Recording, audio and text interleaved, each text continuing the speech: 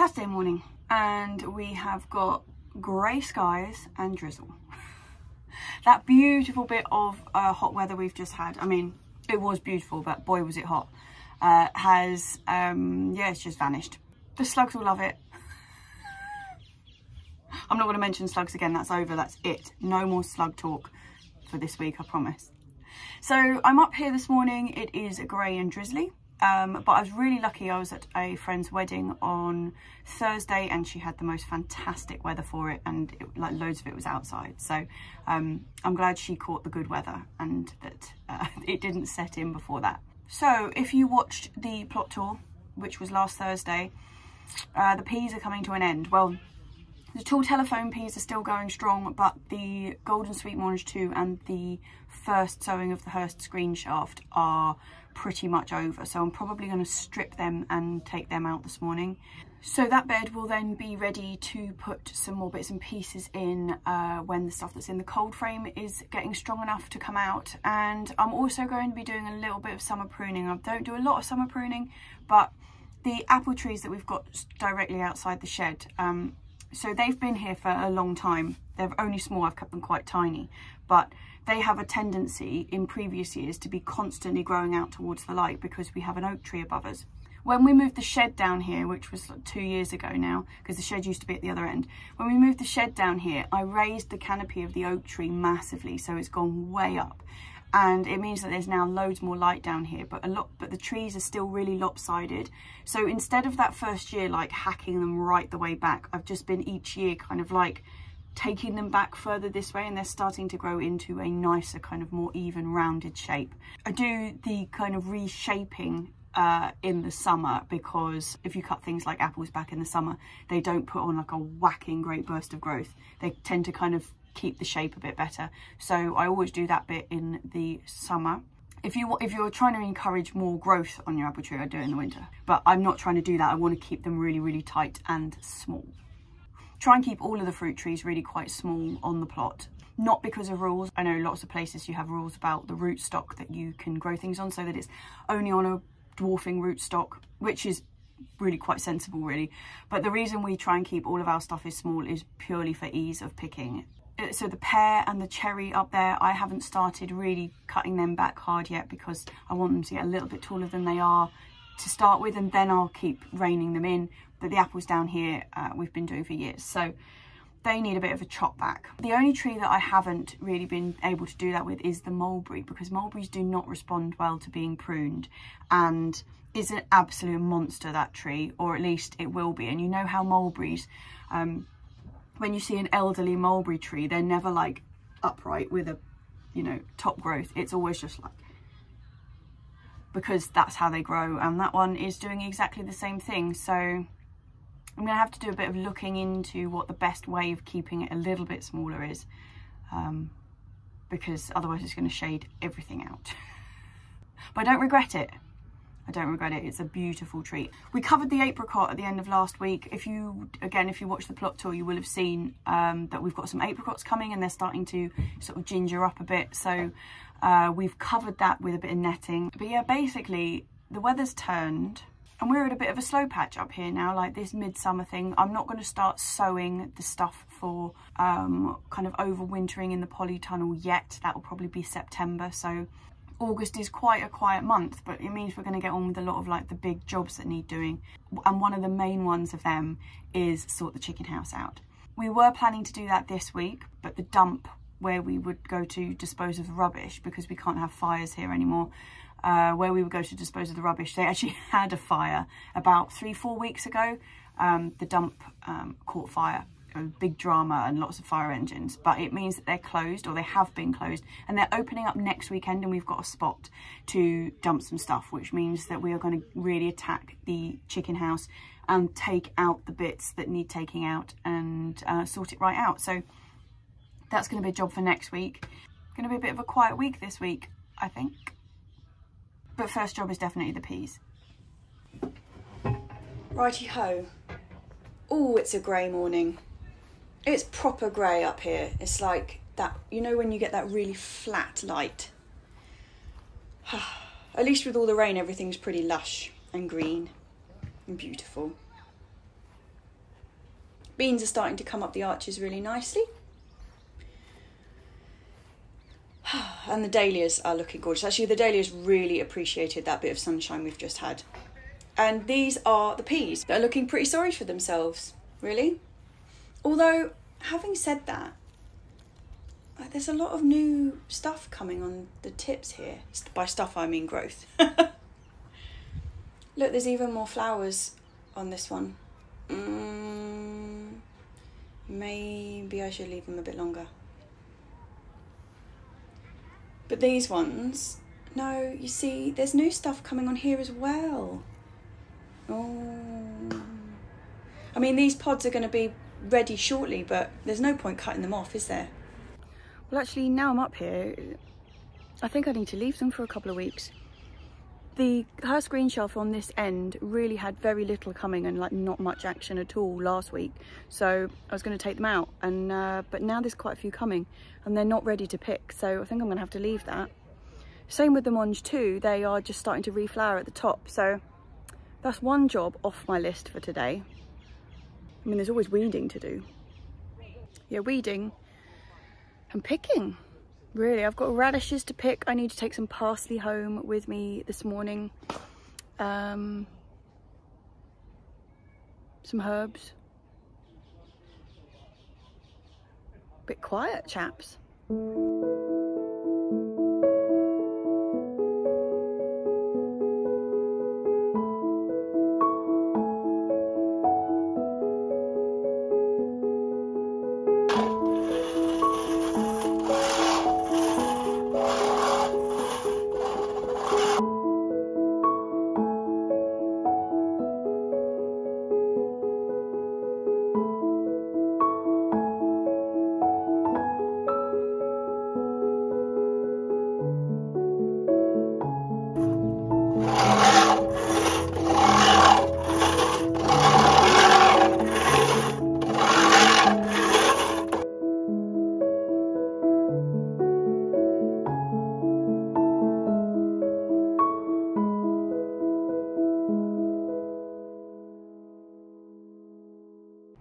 some good mowing done, but I've just remembered I've been given a little cucamelon because I didn't grow any myself this year.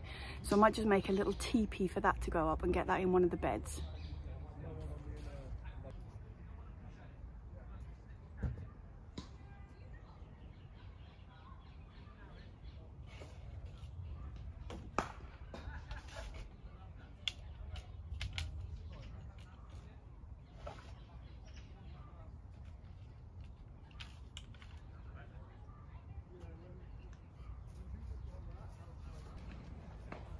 So I'm going to make a really, really narrow teepee for this, just with these three canes. So cucamelons are like a little tiny cucumber that looks like a baby watermelon.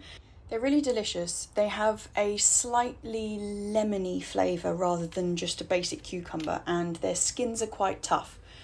It's mostly seedy, but they've got a really fantastic lemon flavour. And what they're really nice for is um, cutting them in half and then freezing them and using them as ice cubes in a gin and tonic, absolutely tick.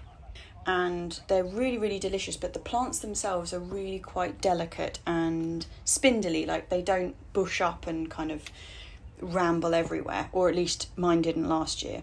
And I have only got the one plant, so I'm just going to make this really narrow teepee and wind quite a lot of string around it so it's got a lot to cling on to and uh, just get it to grow straight up here. I don't want to take up a massive amount of space with it. I could have put it on the arch that I've got the achocha growing over, but there's not that much for it to scramble up there and the achocha are such dominating plants that I think they'd probably just get crowded out. So just here out in the open, um, the leaves aren't particularly big and like I say they're not massive growers so it's not going to be too much of a wind trap. Like if you've got really top heavy plants and you put them on a really narrow teepee the likelihood is if we get wind it's just going to blow over. But this one if I push this quite far into the ground it should it should be absolutely fine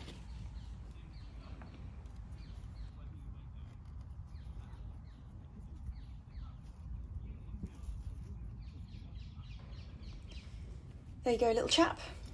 Looking forward to my gin and tonics, flavoured by you. while I'm in this bed, there I've got these spring onions here, which are Lilia that are uh, like multi-sown, so they're really quite close together. So I'm just going to pull out, some of these are looking quite big, pull out the biggest of them and give the little ones a bit more space to grow.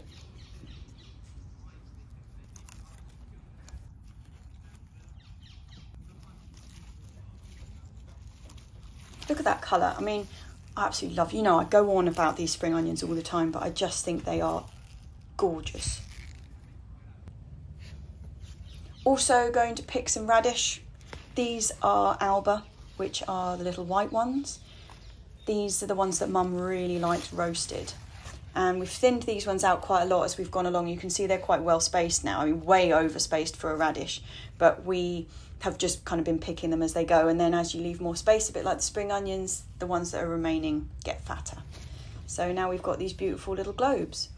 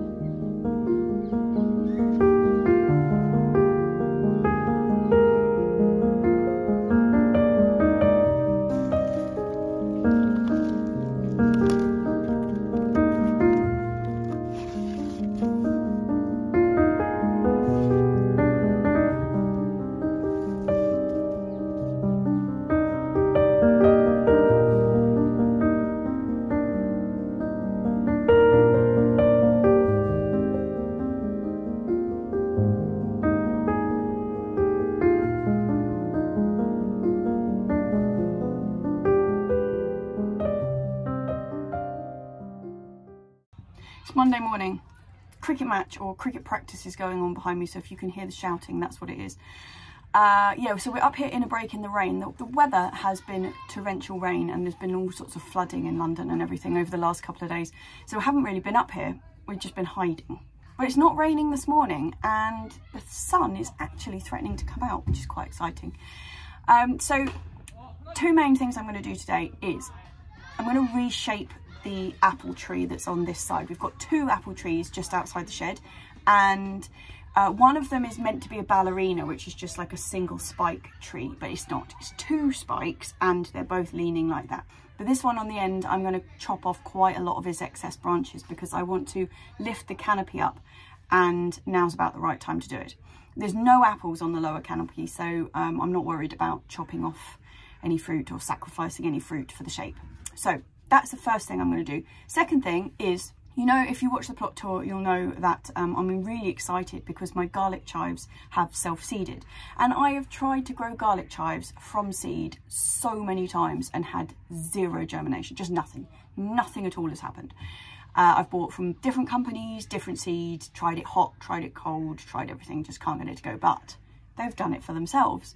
So I'm going to be moving some of those because they're all scattered in underneath the asparagus bed and I don't really want them there. So I'm going to transfer them. I've got a patch that I want to put them in next to the artichoke.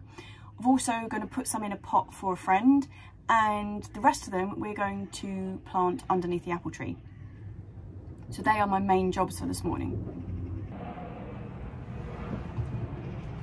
These are the two apple trees, so they are really like right as you come out of the shed. And we've got some gorgeous apples coming on them. Look at that. They're looking really healthy.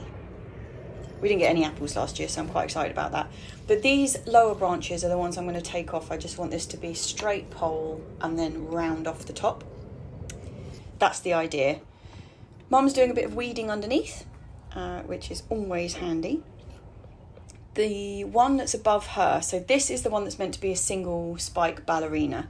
And I want to find a way to tie it back, and I don't know whether I'm going to put a prop or hammer in a spike and kind of ease it backwards. Not sure yet.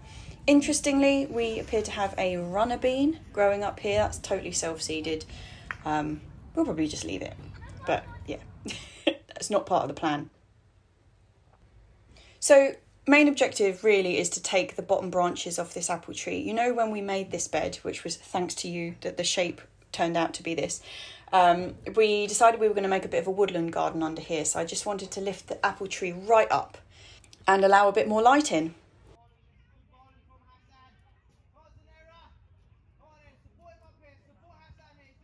I'm pretty pleased with that. That's given us loads more light under there. So hopefully that's going to give things a bit of a better chance to get established. Things like these garlic chives. So these two big clumps here are the ones that I bought in pots, you know, and planted out and they are flowering again now. But from last year's flowers, look at all these baby ones. Little self-seeded bits of uh, garlic chives, which is pretty exciting. So I'm going to lift as many of these as I can and like I said, put some in a pot for a friend. In fact, the friend who gave us the cucumber melon that I planted the other day. And uh, yeah, God, tell you what, like these are not tiny seedlings. Look how, God, I'm sorry, the asparagus fern's in the way, but look how big the roots are on that. Pretty mighty. Get them all planted up. So I'm going to plant them in two clumps. I'm going to do one in the bed next to the artichoke, like I said, because that's going to have quite a lot of permanent stuff on that one end. I'm going to bunch them into two bunches because when I planted the two that I've got really well established there, they were just like a bare root little bunch of them and they've grown really well. So I'm going to bunch a load of these up. And fingers crossed we'll have two new patches of garlic chives. I can't really leave them in under here because um, this area gets completely like wiped every year as soon as the asparagus uh, starts dying down, we chop it all down. The whole lot gets just weeded, cleared, and mulched really thickly, ready for the next year. So these guys really wouldn't survive in here anyway. So they've got to come out. But I'm hoping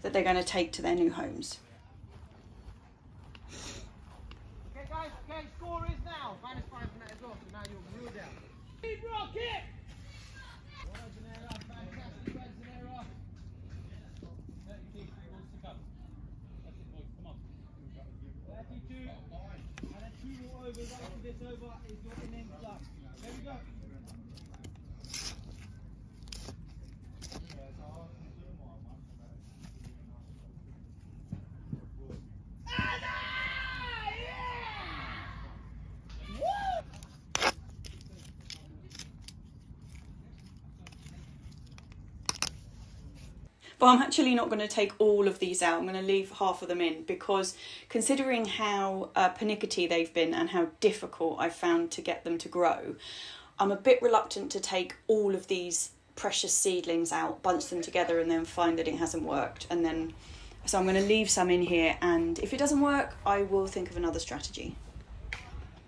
But fingers crossed.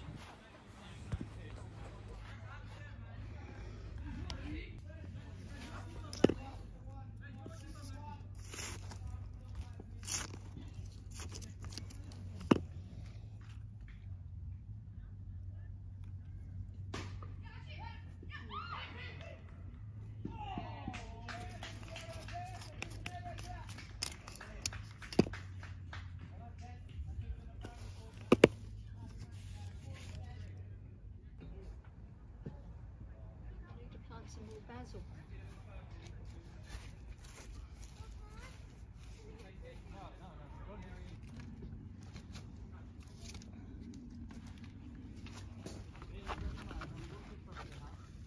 This one's got to be dealt with in, in here. It's got everything's dead. Can I just plant the seeds straight back in the top there? Yeah. Have we got any basil up here? I hope so.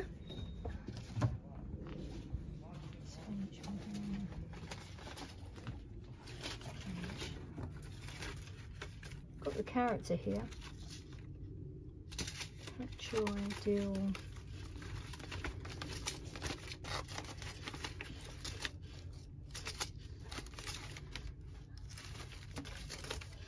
no basil. No basil.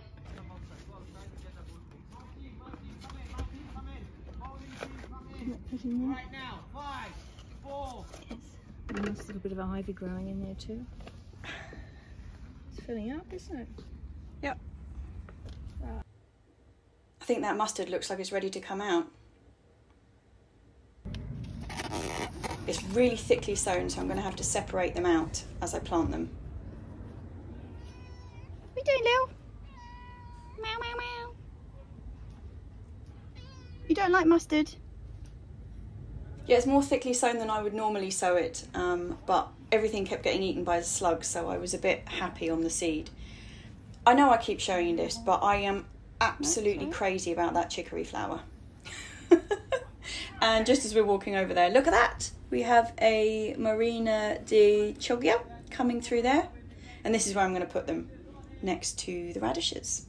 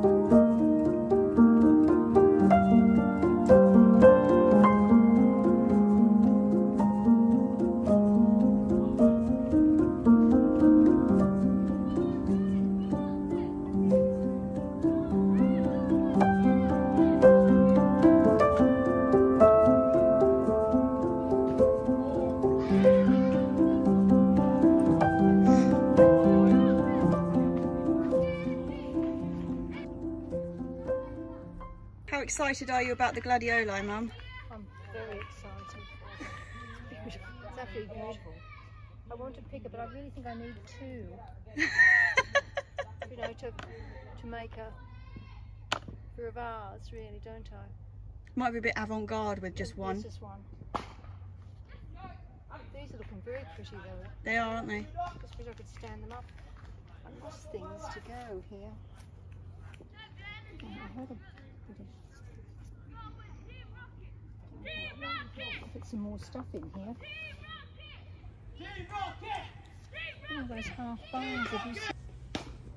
The flowers this year really are fantastic. It's just so much life. Yes, I am going back towards the chicory. How can you not love that? I know it's all over the place in every field in the country, but that colour, I love it. But yeah, loads of flowers. Mum's hiding behind the polly. I tell you what, these are gorgeous too. This is the Greek gigantes flowers. Look at that, the white and the really pale primrose yellow. Oh, they're just gorgeous. So pretty. And look, actual beans on the go. The only thing that's really suffered in that last bout of rain we had was the cornflowers. Look, they've been completely smushed. Hello. Yeah, we might have to just pick a load of them today, stick in a vase. Absolutely gorgeous blue sky at the moment. And sunshine. Real, genuine sunshine.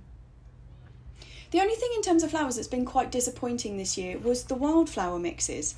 I mean, we do have some really beautiful stuff in there, but it's just not as good as it was last year at all. I don't know whether the company changed the mix or whatever, I'm just not as impressed.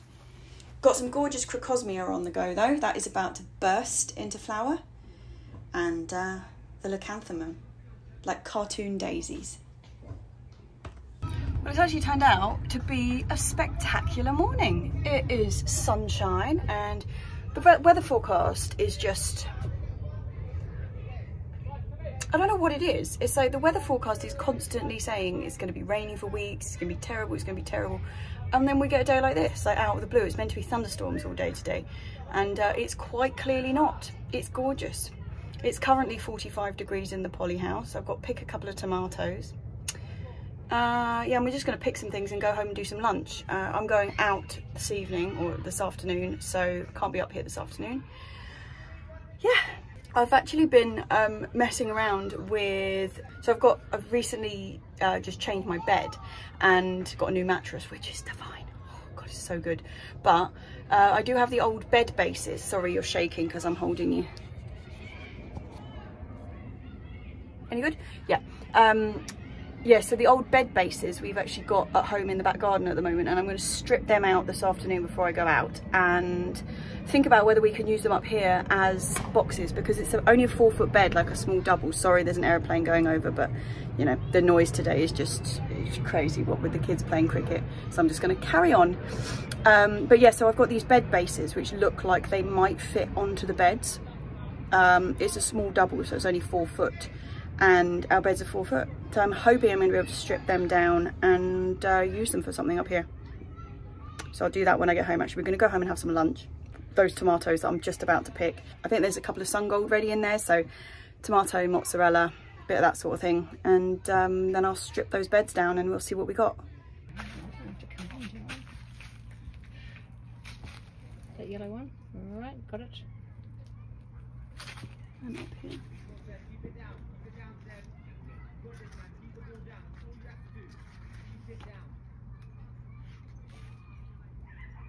Can you see that? I can. Coming, yellow. Nothing else there, is there? Out. Are you filming? But, oh, look at you. I've got to look at it. It's like a tree trunk. It is.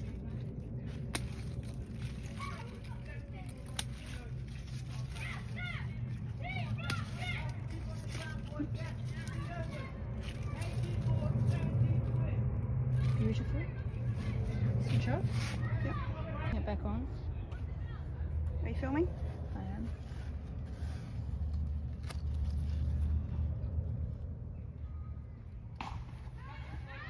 This way. Even? It's very hard to see, isn't it? I'm only guessing I've got it in the right place. I could see that, just about. Do you have I'm also going to pick some leeks. So Right, okay. I'll just get the trowel. So these are the nipper leeks that you pick when they are really quite skinny and small. And uh, they're super sweet and really fast growers.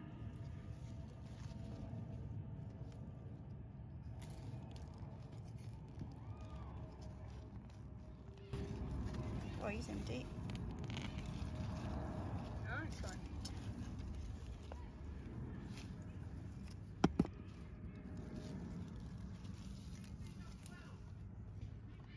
There. Just can you see in there?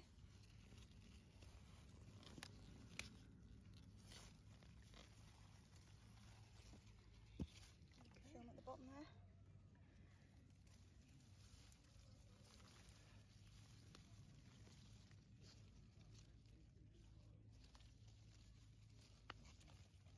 Very nice. Switch off. Well, the sunshine didn't last. As soon as we got home, the skies opened, and uh, these are the bed boxes that I'm meant to be stripping out, but it's just too wet. So that is going to have to be a job for next week. Boy, is it soggy. I've got to go out in this in a minute. At least the agapanthus look pretty.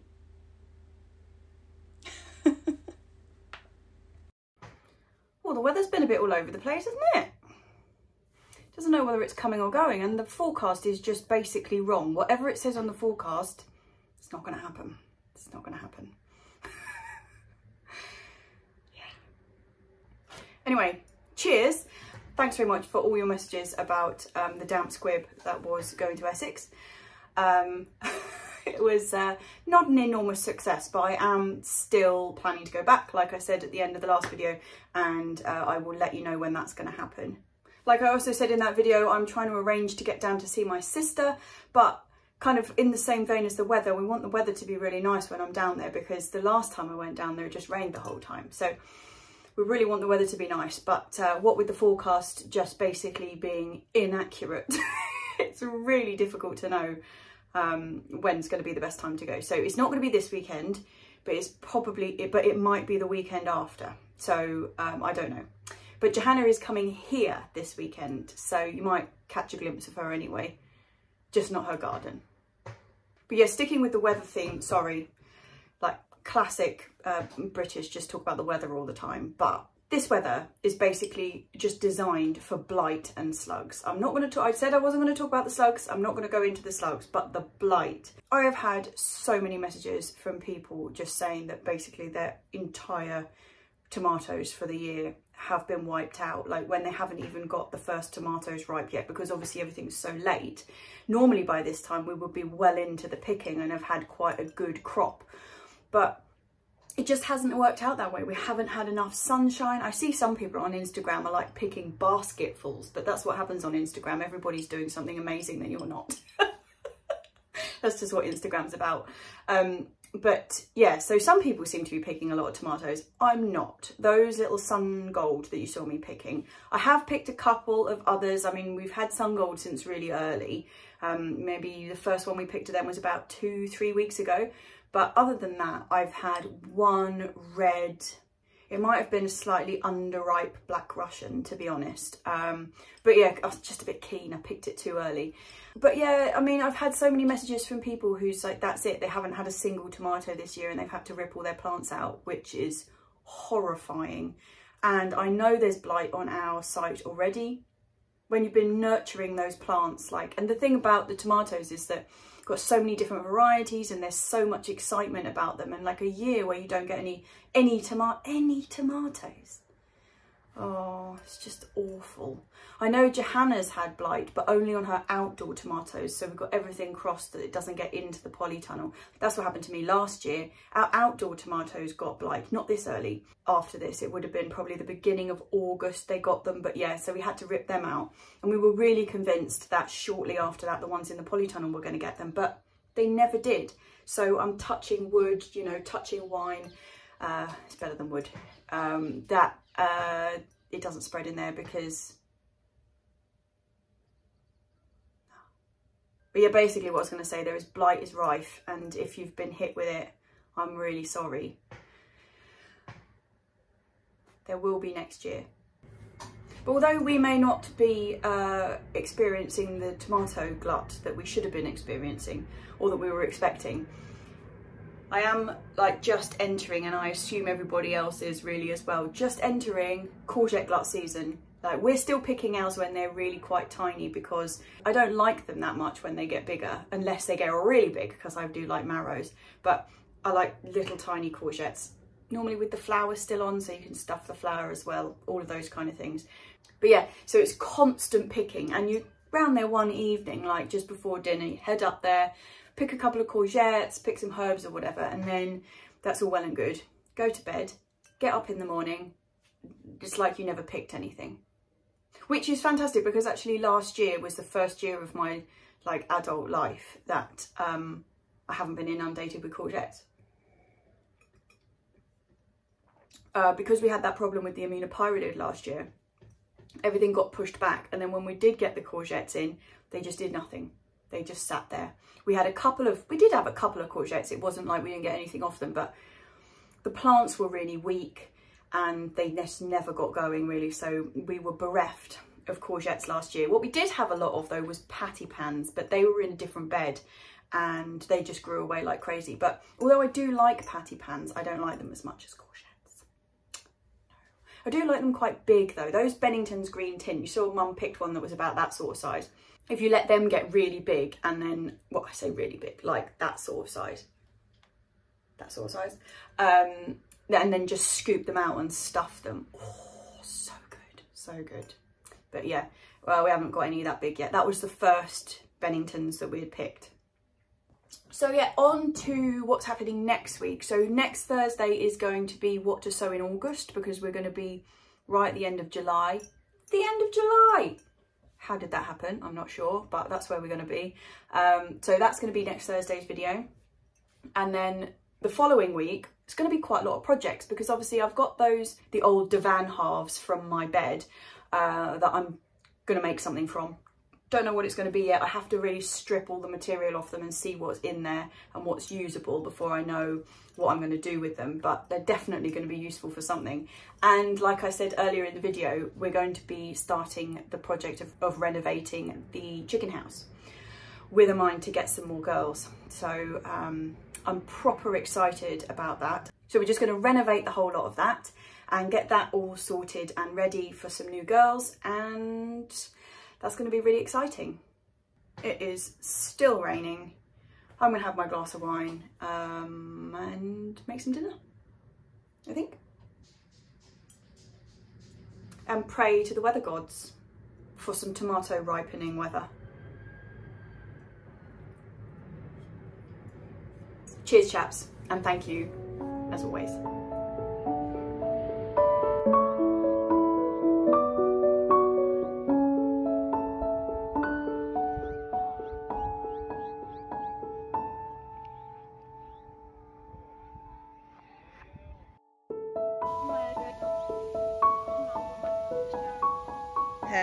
zo, minder. Het echt niet zo, hier.